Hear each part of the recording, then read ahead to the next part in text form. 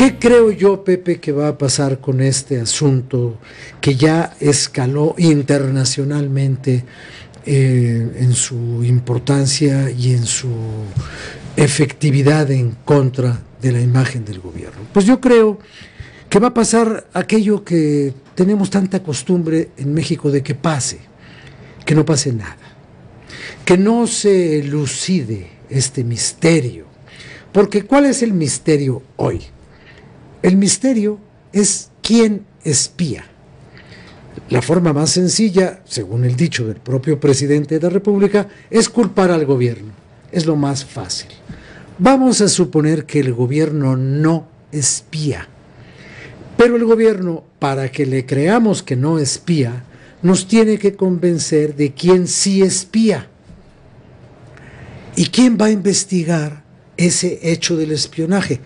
Pues la única institución mexicana que legalmente puede investigar los delitos.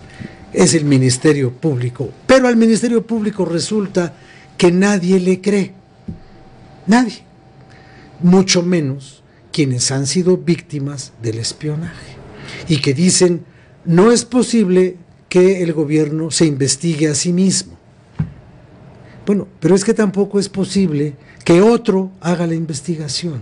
Entonces vamos a caer en esta serpiente que se muerde la cola, que vamos a pedir que venga la Comisión Interamericana de Derechos Humanos a investigar como ocurrió con Ayotzinapa, pues si ellos vienen a investigar, resultará lo mismo que pasó con Ayotzinapa, que vamos a oponer una verdad oficial a una verdad de una comisión extranjera, internacional, pluridimensional, pluriétnica, plural, de todo tipo de especialistas, a la cual no se le va a dar el orgullo de llevar la verdad por delante. Y el gobierno dirá, no lo aceptamos.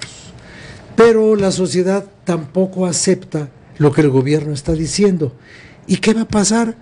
Va, a pasar como con el asesinato de Colosio, va a pasar como con la noche de Tlatelolco, va a pasar como con las tantas historias en las que la verdad social no encaja con la verdad oficial.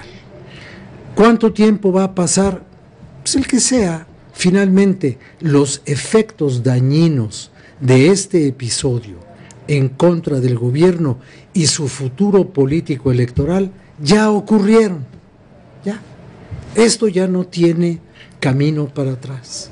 La imagen ya se quedó, la percepción general ya está ahí establecida, firmada, confirmada, reafirmada, y esta es una verdad socialmente admitida. El gobierno espía a sus críticos, el gobierno no tolera la crítica, el gobierno persigue una cierta forma de disidencia y cuando el gobierno nos diga que no fue él y nos diga quién fue, la mayoría de las personas que han seguido la evolución de este asunto, empezando por el gobierno de los Estados Unidos, por el New York Times, por ciertos medios independientes, por las organizaciones no gubernamentales, por la sociedad civil que se levantó de la mesa del gobierno abierto, por todos los este, ofendidos, por todos los espiados, no le van a creer.